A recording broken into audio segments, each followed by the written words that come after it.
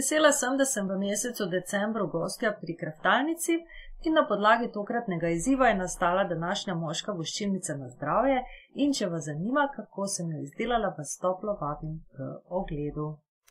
Na svoji novi stekleni podlagi že imam pripravljene stvari, ki, oziroma pripomočke, ki jih bom potrebovala za današnjo voščilnico in sicer beli kartonček iz belega fotokartona, osnovo iz ekokartona, izrezan ta trak iz ekokartona in pa izrezano vinsko trto ter grozdje iz belega. Prav tako imam tukaj pripravljeno žito stencil oziroma plastično šablono v imitaciji lesa in pa lopatko ter leseni akrilni kit, ki ga bom potrebovala, dva čopiča, debelejšega in tanjšega.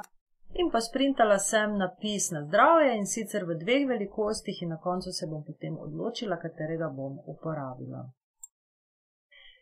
Barvanje bo že po mojem znanem receptu, se pravi, uporabila bom akvarelne barve in sicer moje najljubše odtenke in to so ta olivno zelena, potem imam eno tako rumeno rjavo, eh, rjavo in pa dve, dva vijolična odtenka za samo grozdje.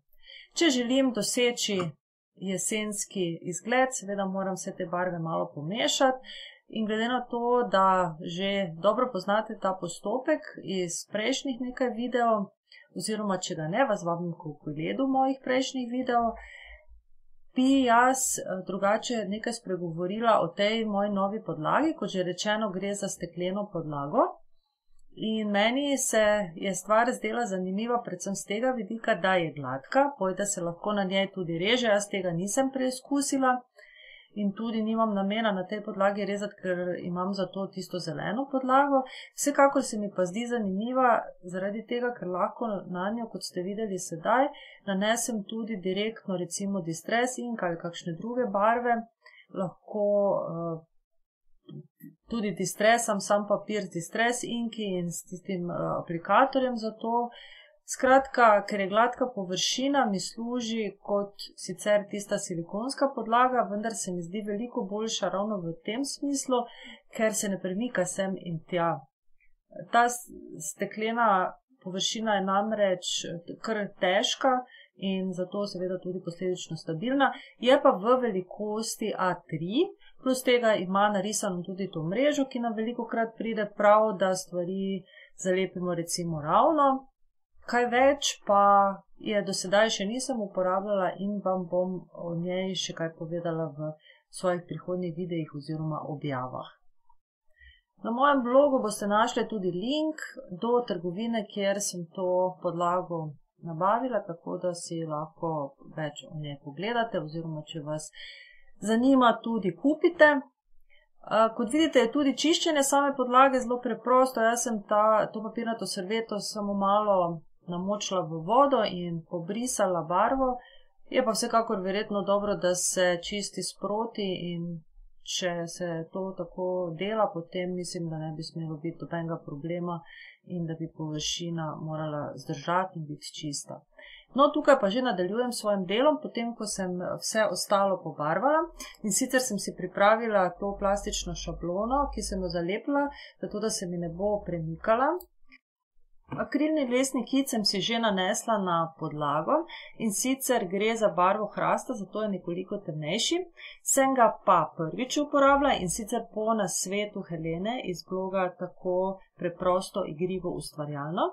In moram reči, da mi je všeč, je pa v primerjavi z samo pasto, ki je drugače za to namenjena, bolj gost in pa hitreje se suši in zaradi tega je potrebno z njim tudi malo hitreje delati.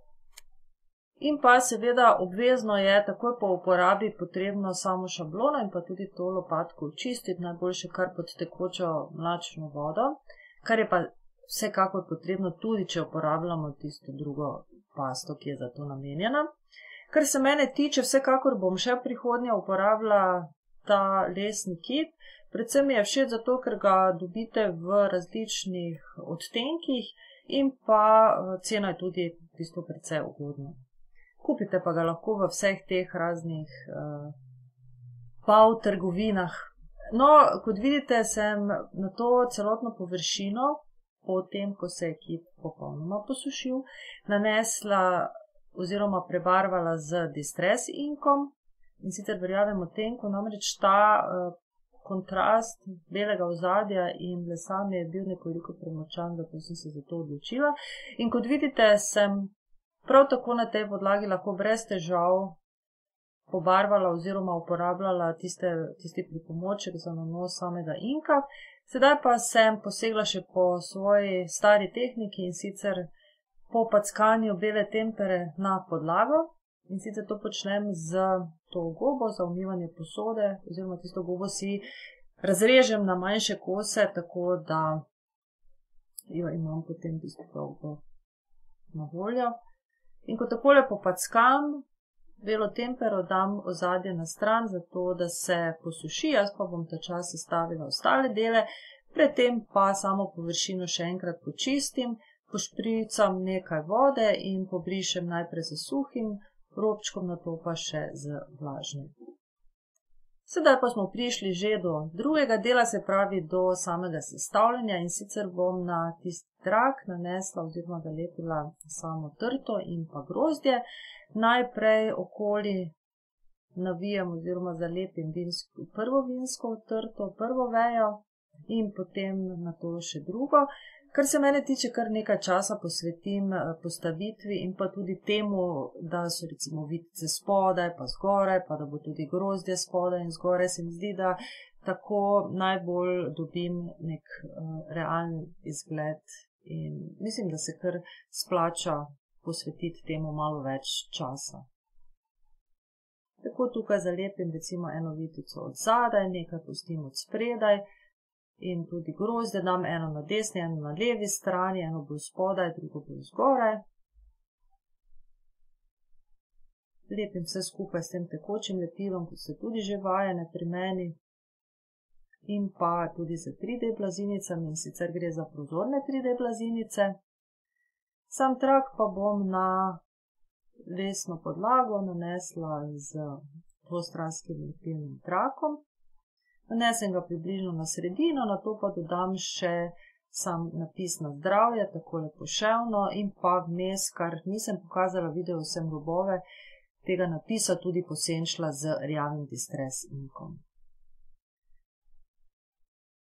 Tako tukaj pa sedaj dejansko zalepim celoten trak za vinsko trto na podlago. Na to še odrežem to, kar štrli na levo in na desno. In tako mi preostane samo še, da z dvostranskim lepilnim trakom zalepim to na osnovo. Najprej sem mislila uporabiti e iz, e, osnovo iz ekokartona, na to pa sem se odločila za belo. Se mi zdi, da tako pride trta malo bolj do izraza. Kar pošteno nanesem ta dvostranski lepilni trak, saj si ne želim, da bi se kaj odlepilo. Mislim, da je tako nastala kar simpatična moška voščilnica, sploh to lesno ozadje in pa trta sta dva takšna motiva, ki sta za to zelo primerna. Tako prišli smo do konca, jaz se vam najlepše zahvaljujem za ogled in vas lepo pozdravljam.